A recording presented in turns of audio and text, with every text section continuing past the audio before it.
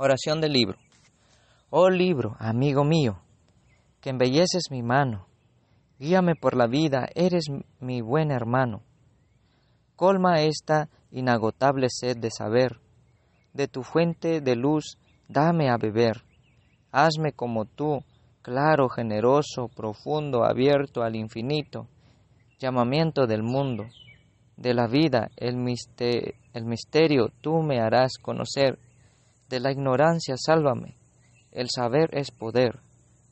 Ah, guarda entre tus páginas con humano fervor mis horas de alegría, mis horas de dolor.